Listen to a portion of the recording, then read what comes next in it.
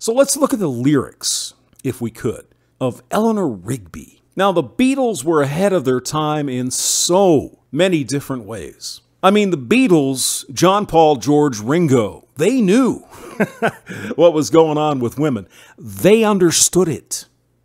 I mean, they were getting so much ass, they didn't even know what to do. I read an interview uh, or listened to an interview with George uh, Harrison, and he was like, "Oh yeah, yeah, yeah." We'd go to some town, and there'd be half a dozen chicks or a dozen w- women waiting for us when we got to the hotel room. I mean, it was ridiculous, right? I mean, these guys were the biggest band in the world, and getting women was nothing.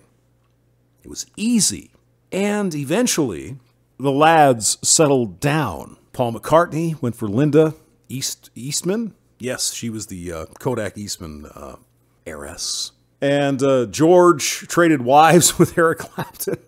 John Lennon, of course, went for Yoko Ono. Don't know anything about Ringo. I don't know what uh, the deal is with Ringo, but he could sing Yellow Submarine, so I'm sure he's got, uh, or he did have plenty. So the Beatles had a lot of experience with women. You know, by the time they got into the uh, the mid '60s, they they they knew the freaking score. And they wrote a few songs about women. I mean, there were some love songs like Norwegian Wood. There was uh, a bunch of stuff, right? About, you know, the sappy sort of blue pill stuff. But then you come across songs like Ticket to Ride. It's like, whoa, that's fucking red pill, dude. Whoa. that is solid freaking red pill stuff. Also, there's another one, and I can't think of it. Oh, Things We Said Today. Yeah. Red pill.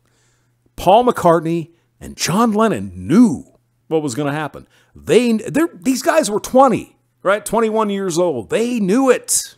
They knew it was going to happen. They had spent many years in Hamburg, Germany, right? They were playing, you know, five, six, seven, eight, you know, uh, sets a night, and the chicks, and uh, you know the game, right? If you're a musician, you get it. You know it. Basically, the women throw themselves at you for a cheap high, you could say. Yeah, yeah. This guy's in a band. He can play the guitar. The Beatles took advantage of that uh, nature of women uh, because this was right sort of during the sexual revolution. And John Paul, George, and Ringo said, hmm, yeah, yeah, sure. Yeah, hey, you want to be sexually free? I'll give you some of that. So, Eleanor Rigby, let me read you some of these words. Eleanor Rigby picks up the rice in a church where a wedding has been, lives in a dream, waits at the window, wearing the face that she keeps in the jar by the door. Who is it for? My guess would be Eleanor Rigby was post wall at this point. You know, she wasn't that redhead that Paul went out with. what the hell was her name? Oh my God. Damn.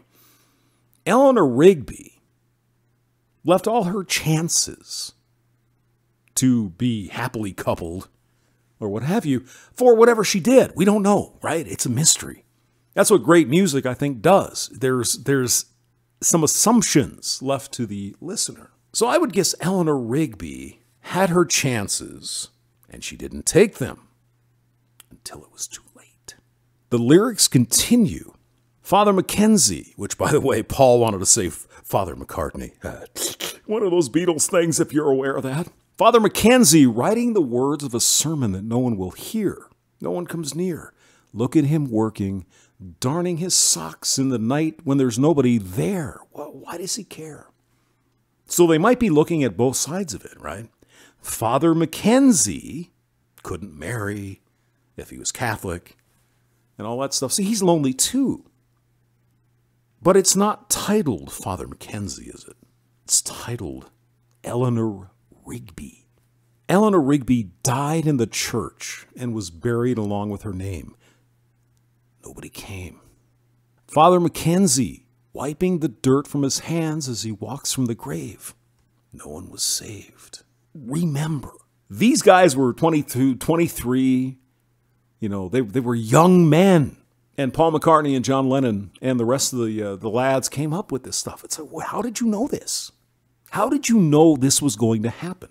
We understand Father McKenzie is going to be lonely. He's dedicated himself to God. But Eleanor Rigby, It's not Sister Eleanor Rigby, is it? No.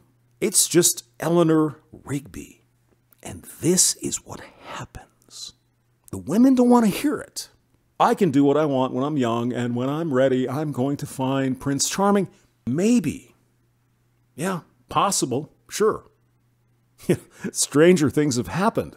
But in general, you can have all the fun you want. You're free. Do whatever you want.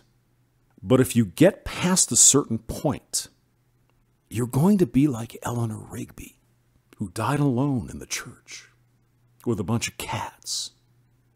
Now, a lot of people come at me and say, Well, hamster, you just hate women. You, you, you hate them. You know you do. No, I don't. I don't want anyone to be lonely. I don't want anyone to, you know, feel sad because time has passed them by. I don't want that for anyone. Even women. Now, some men are going to be out there saying, ah, women suck. Let it burn it down. Yeah, I'm not, I'm not like that, okay? It's not me.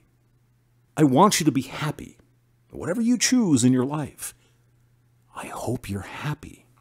If you want to be happy, and that happiness involves getting married to a decent dude and having a family and all that shit, you can't wait till you're 38.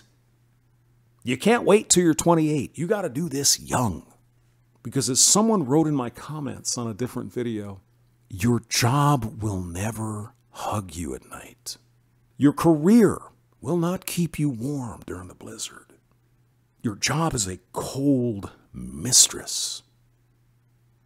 It is meant for one thing they get something out of you, you get something out of them. They give you money, you give them work. But when you go home at night and you got the box of wine and a bunch of cats, that job doesn't give a shit about you.